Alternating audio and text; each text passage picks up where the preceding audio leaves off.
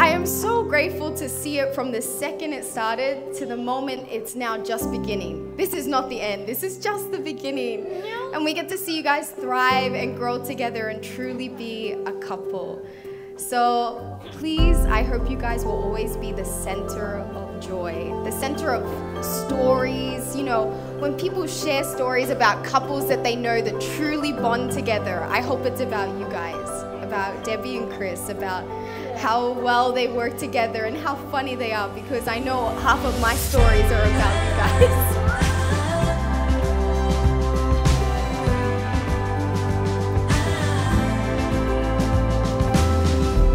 I, Christopher Kai Chuan Hu, take you, Minhui Debbie Chup, to be my lawful wedded wife.